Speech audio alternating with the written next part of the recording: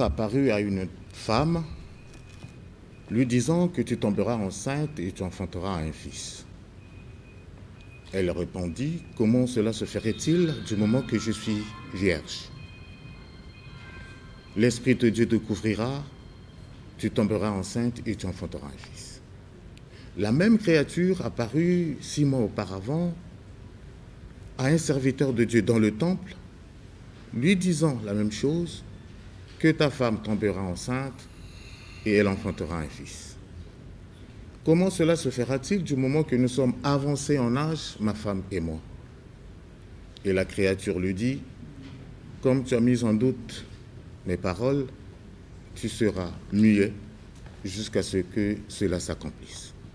Vous avez compris que nous parlons ici de l'ange qui est apparu à Marie, mère de Jésus, et à Zacharie, père de Jean le Baptiste.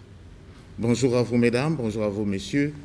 Merci de nous suivre. Nous avons reçu ici sur notre plateau Maître Anaël Moussakanda.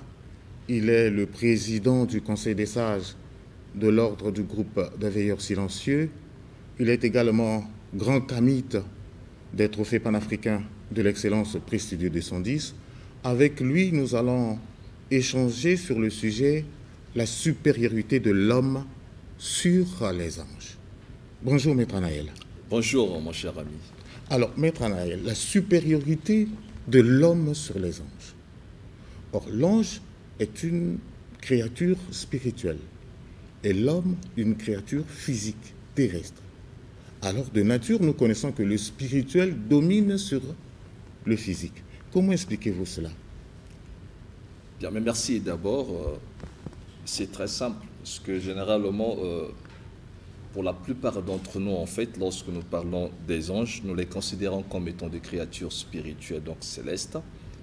Et pour lorsque nous parlons de l'homme, nous pensons que l'homme est une créature terrestre, ce qui est complètement faux sur toute la ligne, parce que l'homme est une dualité, c'est-à-dire constitué d'un aspect physique et des, et des aspects supérieurs spirituels. C'est-à-dire que il y a ce qu'on appelle dans l'homme, si vous voulez bien, différents niveaux ou différents corps. Donc l'homme vit à la fois dans le plan physique, mais il est aussi capable de vivre dans le plan astral et émotionnel. Il est aussi capable de vivre dans le plan mental. Il est aussi capable de vivre dans le plan divin, ce qui fait donc de l'homme un être complet. Donc l'être humain, voilà pourquoi on dit être humain, parce que l'être, vous ne le verrez pas, il est spirituel, l'être. L'humain, vous pouvez le toucher, mais l'être, vous ne pouvez pas le toucher. Donc chaque être humain, si vous voulez bien, est un être complet qui est supérieur aux anges et à tous les esprits. Il n'y a pas dans l'univers une créature qui dépasse l'homme en supériorité. Parce que l'être humain, si vous voulez bien, c'est le microcosme, c'est-à-dire ce qui est semblable au macrocosme qui est le grand univers. Donc l'homme, c'est le petit univers.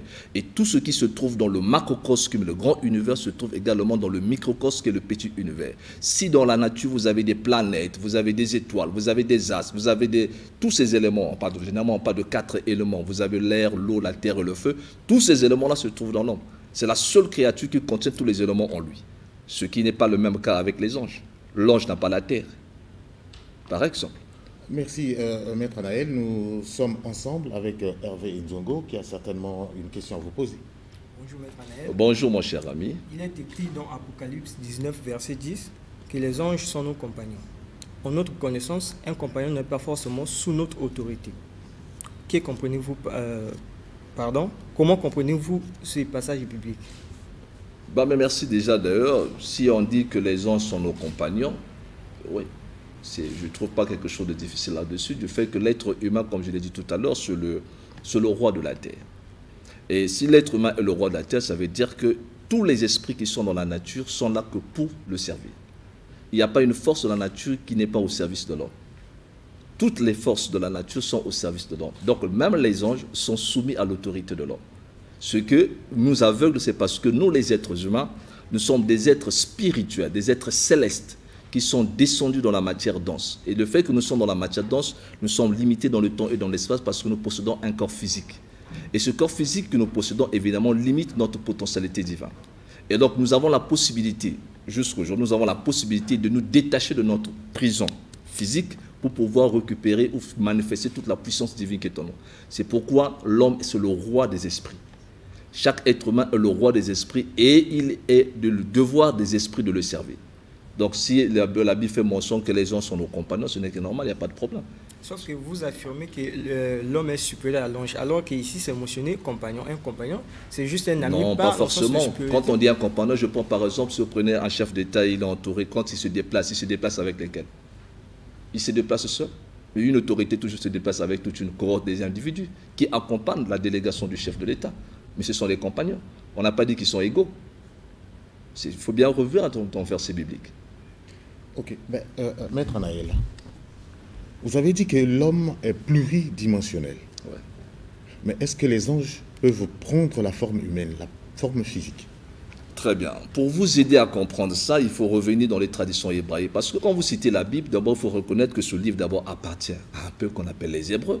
Donc les Hébreux avaient un langage ésotérique et spirituel qui est méconnu totalement aujourd'hui.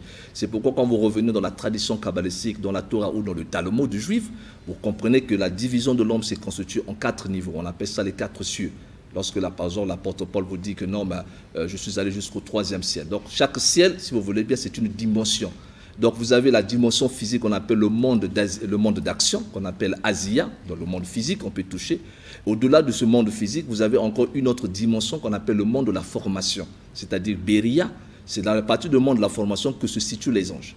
Donc les situent les anges, c'est-à-dire les archanges, les, anges et aussi donc les, les, les, principautés. Ils se trouvent au niveau de la formation. Donc le monde de la formation, c'est ce qu'on appelle dans le langage ésotérique le monde astral émotionnel.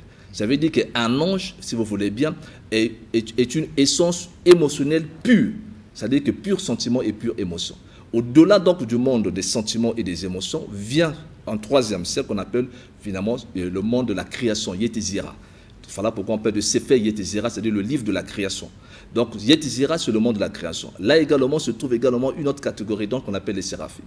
Donc à chaque niveau, au-delà de ça, vous avez ce qu'on appelle le monde de l'émanation. Le monde de l'émanation, évidemment, c'est ce qu'on appelle donc le monde de Atzilu.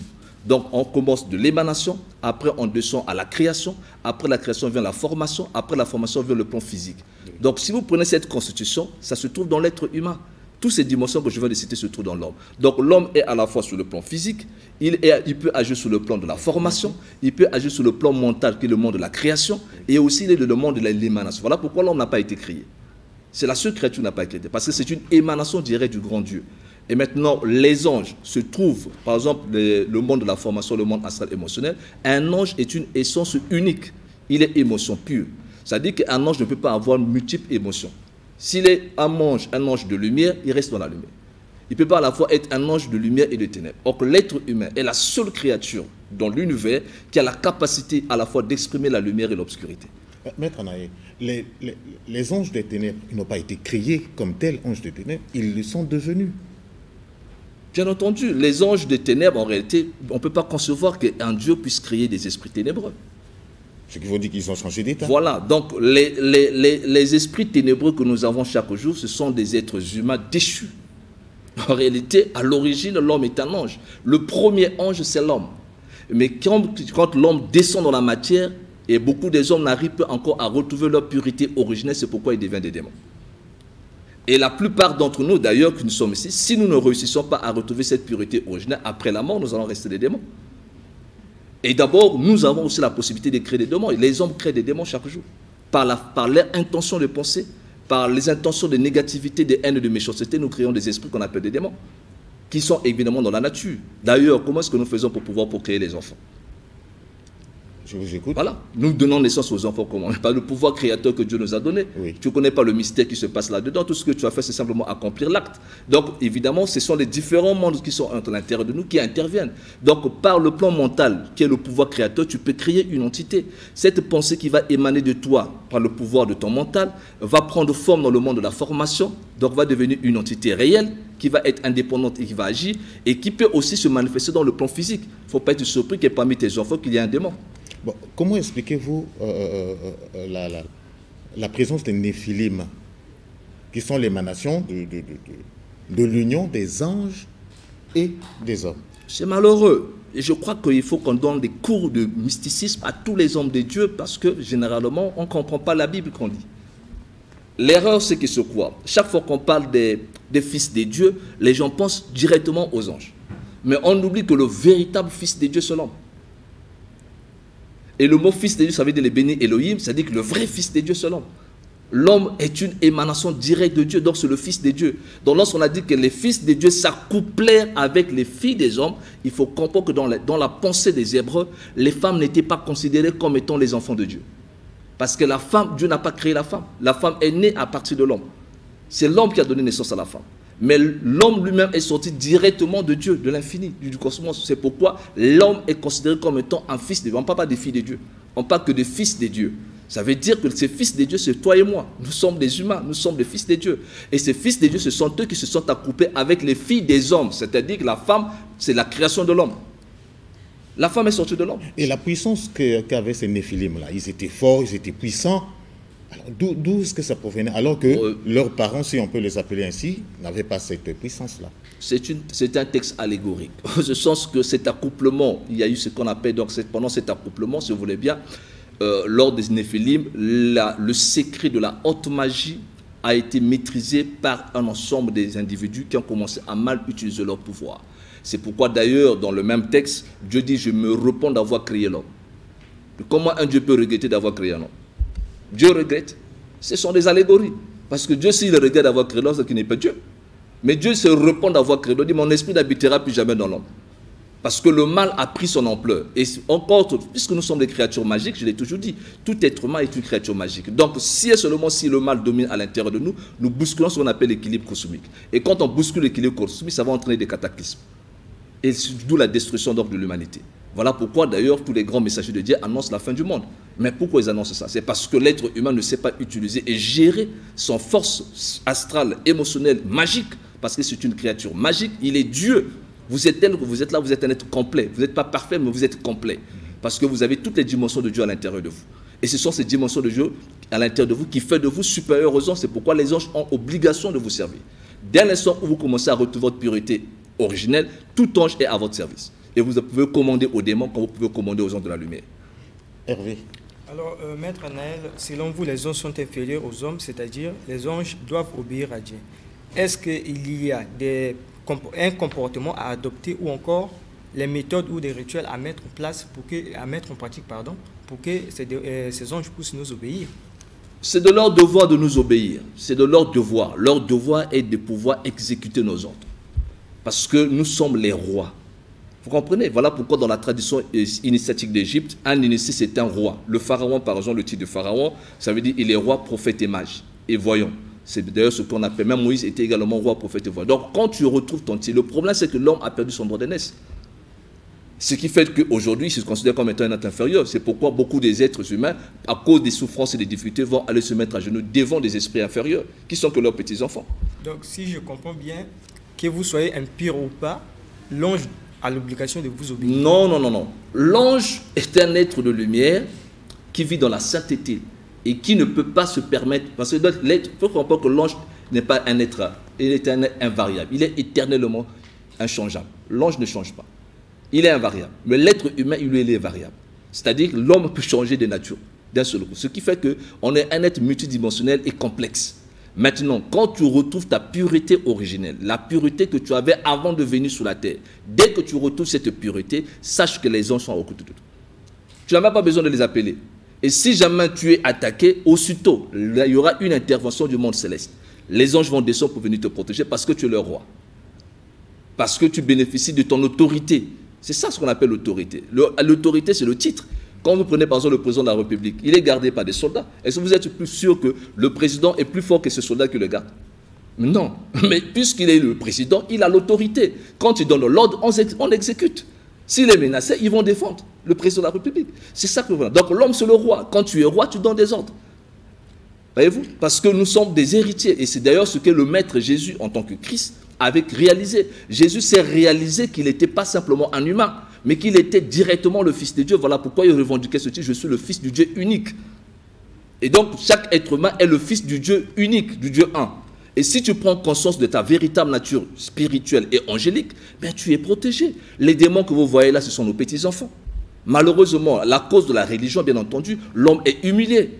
Même pour le pain, on, est obligé de le faire des, rituels des jeunes. Euh, on n'a pas besoin de tout ça parce que nous avons le pouvoir créateur à l'intérieur de nous. La pensée que tu as est créatrice. Les émotions que tu as en toi, mais c'est la force magique astrale. La parole que tu prononces, le verbe finit par faire devenir chair. Donc tout ce qui se trouve en nous, en fait, fait partie de Dieu. Donc il n'y a pas une chose, chose qui émane de nous et qui ne prend pas forme. Donc nous sommes des êtres magiques supérieurs aux anges. Et ils ont obligation de nous obéir. Est-ce que, est que euh, permettez, Maître Naël, est-ce que le fait d'invoquer les anges ou d'adorer les anges, on en voit un peu quelquefois la prière de Saint-Michel, la prière de cet archange, de ceci, est-ce que c'est une pratique erronée à ce moment-là? Oh, On ne peut pas adorer un ange. C'est gravissime. C'est gravissime. Si tu te mets à adorer un ange, mais c'est du blasphème parce que tu n'as pas le droit de le faire. C'est pas parce que tu souffres que tu as des problèmes que tu vas te mettre à adorer les anges. Tu n'as même pas le temps de faire. Tout ce que tu as à faire, c'est de retrouver ta pureté originelle, ta sainteté originelle. Voilà pourquoi on parle de kadosh. Lorsqu'on parle du temple, le temple c'est quoi? En hébreu, le temple ça veut dire Bet Hamikdash, c'est-à-dire la maison du sacré. Et la véritable demeure du sacré, c'est ton corps. Donc déjà, ton corps est une demeure du sacré si tu sais te tenir dans la pureté, au niveau de ta pensée, la pureté au niveau émotionnel, la pureté dans la façon de te conduire chaque jour, mais les gens sont à ton service. Tu n'as même pas besoin d'invoquer Michael. Michael sera là déjà. Parce que tu es dans la pureté. Maintenant, si et seulement si tu ne sais pas jouir de la pureté, tu vas vivre dans, dans, dans, la haine et la méchanceté comme la plupart des gens le font chaque jour. Mais tu vas enfanter tes enfants qui sont tes amis, qui sont des démons. C'est pourquoi les gens, quand ils dorment la nuit, ils ont des cauchemars. Mais ce sont leurs, leurs propres petits-enfants qu'ils ont enfantés. Les démons que vous voyez, ce n'est pas Dieu qui les avait créés. Et chaque être humain que vous voyez qui ne sait pas réaliser, qui n'a pas retrouvé sa pureté originelle, finira par devenir un démon. il va commencer à hanter les gens demain. Parce qu'il n'a pas retrouvé sa patrie céleste, il ne pourra pas repartir dans le monde supérieur. Le problème qui est là, c'est parce que la plupart des gens, bien entendu, n'ont pas l'expérience du monde invisible. Je l'ai toujours dit.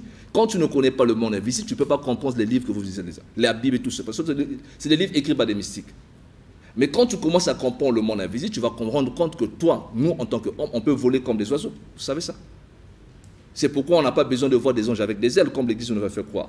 Donc la forme qu'on donne aux anges n'est pas... C'est de la pure fantaisie en réalité. C'est des textes qu'on n'a pas compris. Si ceux qui ont peint ça de cette manière, ces allégories, ces images archétypales du monde invisible, qui sont des visions en fait des prophètes, c'est quand on dit par exemple euh, l'ange avait la forme d'un bœuf, euh, la face d'un... La face là, ça ne veut pas dire la face physique, ça veut dire un peu la vertu du bœuf. Ou la vertu du lion. Quand on dit par exemple le Christ est le nom de la tribu de Judas, ça ne veut pas dire que Jésus a la forme d'un lion. C'est parce qu'il dégage le courage du lion. Il a la royauté du lion. C'est ça. Donc c'est des langages allégoriques. Il faut comprendre ça comme ça. Maintenant, si vous ne comprenez pas comme ça, vous allez prendre la Bible sous le pied de la lettre et c'est là que vous allez vraiment déformer un ange avec des ailes. Est-ce que l'ange a besoin des ailes pour voler? Non. On n'a pas besoin des ailes pour voler parce que même moi-même, je peux voler dans le plan astral, je vole. Et à peine hier, quand j'ai fait un voyage astral, hier, j'ai fait un voyage astral, j'ai volé comme un ange. Oui, euh, euh, Maître Anaël, vous savez, le monde spirituel est un domaine qui est étrange à l'homme. Mais parce que c'est parce qu'on l'a trompé, c'est tout. On l'a trompé par ses pasteurs, par ses faux prophètes qui ne connaissent même pas. Quel est ce pasteur qui a déjà fait l'expérience du monde invisible? Bon, il va enseigner aux autres quoi? Dites-moi. Lui-même, il ne connaît pas Dieu, il ne connaît pas les anges, il enseigne les gens les anges. Comment? Moi, j'ai déjà vu un ange, je les vois tous les jours, les anges. Les démons, si je les connais.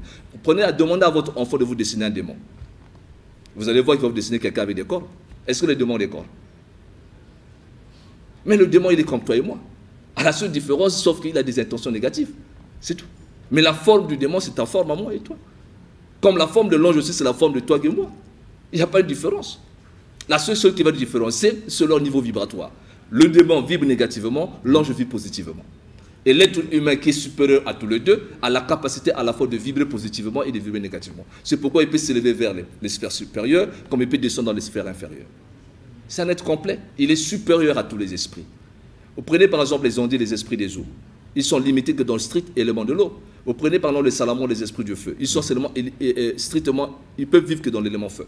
Vous prenez les nuages, ces gardiens de la terre, ils peuvent vivre que dans l'élémentaire. Vous prenez les siffles, les, esprits de l'air, ils peuvent vivre que dans l'air. Mais l'être humain possède en lui seul tous ces éléments. Voilà pourquoi l'être humain vit avec la cacha, c'est-à-dire le cinquième élément, qui est l'esprit. Et en lui, il a toutes ces dimensions. Il a la terre, il a l'air, il a le feu, il a l'eau. C'est pourquoi il peut commander aux esprits de la terre, il peut commander aux esprits du feu, il peut commander aux esprits des eaux, des ondides, il peut commander aux esprits de l'air. C'est une créature merveilleuse, c'est pourquoi l'homme est une créature magique. Vous venez de dire qu'adorer, invoquer un ange, c'est une erreur grave. Maintenant, on voit les, catholiques adorer les anges et ils trouvent satisfaction, satisfaction à leur prière. Qu'est-ce que vous pouvez dire Vous me faites sourire. Vous me faites tellement sourire et je me réalise que j'ai affaire à des bébés, à des enfants. C'est pas possible. Les catholiques, moi, qu'est-ce que j'ai affaire avec les catholiques? Le problème de la réalisation, c'est que tout ce que vous cherchez dans le monde, vous en avez déjà avec vous. Donc tu peux même demander à un arbre de te bénir. Mais ce n'est pas l'arbre qui va te bénir. Tu es Dieu sous la forme humaine. C'est normal. Est-ce qu'à Dieu peut lui refuser quelque chose? Chacun de nous vit dans sa propre création. Tous les problèmes qui nous arrivent chaque jour est une création que vous avez créée vous-même. L'homme ne sait pas utiliser le pouvoir magique qu'on lui a donné. Voilà pourquoi il s'en sert mal. Et la conséquence de ça, c'est les problèmes qu'il a chaque jour. Maintenant, quand tu commences à pouvoir te rééquilibrer vers l'harmonie intérieure, c'est tout à fait normal que les choses se résoudent. C'est pourquoi même si tu peux toucher un petit truc, prendre même de l'eau simple, si tu crois à cette eau, tu auras les résultats. D'ailleurs, Jésus le dit, il dit que si vous avez la foi, il ne dit pas si vous avez la foi en Dieu, il dit si vous avez la foi, c'est tout. Parce qu'il sait que déjà l'univers dans lequel nous vivons est un univers magique. Et donc tout ce que nous concevons à l'intérieur de notre esprit finit par se matérialiser. Donc ce n'est pas un problème ça. Donc ce qui veut dire que euh, la supériorité de l'homme sur les anges, c'est seulement son côté, son côté pluridimensionnel ou, il y en a d'autres? Non, mais l'être humain, c'est il n'y a pas une créature comme l'homme. Il n'y en a pas dans l'univers une créature. Voilà pourquoi les esprits nous respectent. Et c'est ça que c'est pourquoi les gens doivent faire la magie. En tout cas, il n'y a qu'une seule solution, c'est faire la magie. Parce que si tu ne fais pas la magie, tu ne pourras jamais te servir de ton pouvoir. Et chaque fois, tu vas tomber devant les esprits, tandis que ce sont les esprits qui doivent tomber devant toi. Et voilà pourquoi les gens n'arrivent pas à manifester la puissance qui est en eux, parce que bien entendu, ils ne se connaissent pas. C'est-à-dire que l'être humain a toutes les capacités de Dieu avec lui. Sauf à la seule différence, le physique que nous avons, le corps physique nous limite. Pourquoi le corps physique nous limite? Parce que ce corps a cinq sens. Les cinq sens que nous avons sont limités dans le temps et dans l'espace. Et tout ce qui fait notre obstacle, c'est le temps et l'espace. Donc le temps et l'espace, évidemment, dans le plan invisible, n'existent pas. Si l'homme réussit à transcender ce temps et l'espace, il retrouve tout son pouvoir. Ça veut dire que ce n'est pas l'esprit qui est puissant, mais c'est l'homme qui est puissant. Donc si on te fait sortir de ton corps maintenant la même, si je te fais sortir de ton corps maintenant la même, tu sors hors de toi, tu vas retrouver tous tes pouvoirs. Et là, si tu veux quelque chose, dès que tu penseras à n'importe quelle chose que tu veux, ça va se manifester. Tu n'as pas besoin de formules pour ça. Alors, Maître Anaël, comment expliquez-vous le fait que euh, certains démons, je les appellerai par exemple, euh, je l'appellerai par exemple euh, Lucifer, qui était un ange, qui, à vous entendre parler tout à l'heure, qui manque d'esprit, de, comment qui manque, qui manque de, libre arbitre, a réussi à se rébeller contre Dieu. Malheureusement, voilà encore une autre erreur. La religion, là, qu'est-ce qu'ils sont en train de faire là? Qui vous a dit que Lucifer c'est un démon? C'est écrit où? Dans quelle Bible? Et depuis quand? C'est un ange déchu. Mais non Le mot Lucifer, ça veut dire Luxféré, je l'ai déjà dit ici là. Luxféré, ça veut dire porteur de la lumière. Mhm. Donc Lucifer ne peut pas être un démon. Mais c'était avant qu'il puisse obéir à Dieu, bien sûr. C'est dans quel verset? Donne-moi le verset. Il ne faut pas lire les choses à travers. Si vous ne comprenez pas les choses, il faut, faut apprendre. Ça veut dire qu'il n'y a pas un être ici, Lucifer. D'abord, dans Dieu, quelqu'un ne peut pas se révéler. Dans le plan spirituel, un homme ne peut pas faire de rébellion. Impossible. Parce que je vous ai dit tout à l'heure, l'ange, tel qu'il est là, un ange vit dans une dimension dans laquelle il est limité. Il n'est là que pour obéir. Mhm. Et par comment il va commencer à avoir même l'intention de faire du mal. Si nous arrivons à faire le mal, nous les humains, c'est parce que nous sommes descendus dans la matière. C'est le corps physique que nous avons là qui fait que nous puissions faire le mal. Pourquoi? Parce que nous sommes limités. Tu as un besoin mais tu n'arrives pas à satisfaire le besoin. Parce que le corps a un besoin, il faut le satisfaire. Dans le plan invisible, tu ne peux pas avoir un besoin non satisfait. le corps humain est le résultat de la décision. si mais c'est l'ego animal. C'est notre ego animal. Mhm. Et donc, Lucifer, en tant que tel, c'est l'ange de la lumière. Lucifer sur le Christ. Votre Lucifer. Mais c'est Jésus, Lucifer. Jésus et Lucifer, c'est la même personne. Merci beaucoup au maître Anaël. Euh, malheureusement, nous sommes arrivés au terme de notre entretien. Euh, je vous laisserai vous présenter au public de Studio qui voudrait bien continuer la discussion avec vous. Vous leur donnez votre numéro de téléphone, comme ça, ils pourront satisfaire leur... Euh, Merci à vous. Euh, je suis le vénérable grand maître Anaël Urias Islanda Kondla, l'avatar de synthèse, fondateur de l'ordre du groupe des veilleurs silencieux. Et voici mes coordonnées téléphoniques pour tous ceux qui aimeraient entrer en contact avec moi. Je réponds au 06 692 28 48 06 692 28 48, c'est mon numéro MTN. Les 04 473 42 20, c'est mon numéro RTL. Tout ce qui voudrait faire l'expérience du monde invisible. Je dis bien l'expérience, pas les théories, on n'a pas besoin de ça. L'expérience du monde invisible. Tu n'as jamais vu un ange, tu viens me voir, je te montrerai comment faire pour voir les anges. Tu n'as jamais vu un démon, tu viens me voir, je te montrerai comment voir un démon, sauf que tu ne pourras pas voir Dieu parce que tu es Dieu toi-même. C'est tout ce que je peux dire à tous les téléspectateurs. Merci, beaucoup de nous avoir suivis. Euh, Studio 210 continue.